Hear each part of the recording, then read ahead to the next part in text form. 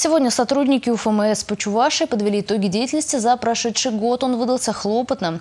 С какими трудностями пришлось столкнуться и какие изменения ожидаются в этом году, узнала наша съемочная группа.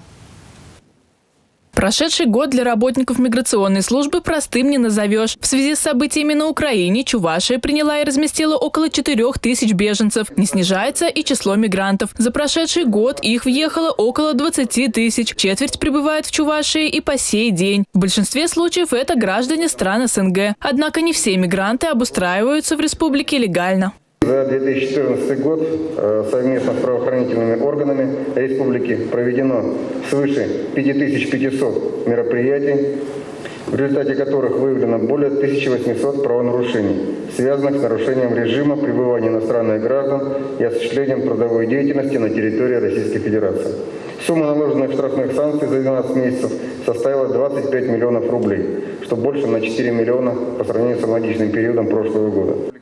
С 1 января текущего года вводится обязательный экзамен по русскому языку, истории России и основам законодательства Российской Федерации для трудящихся мигрантов. От сдачи экзаменов освобождаются только квалифицированные специалисты. Обучение и тестирование иностранных граждан в Чувашии будет осуществляться в трех пунктах на базе двух высших учебных заведений ЧГУ и ЧГПУ и Института образования. Поэтому работа в этом году сотрудникам УФМС предстоит еще более плодотворная, а пока выявили лучшие региональные подразделения управления в Новочебоксарске.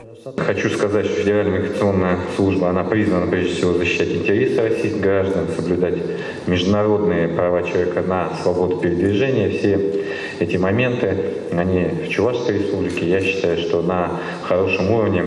Екатерина Абрамова, Расиль Мухаметов, Республика.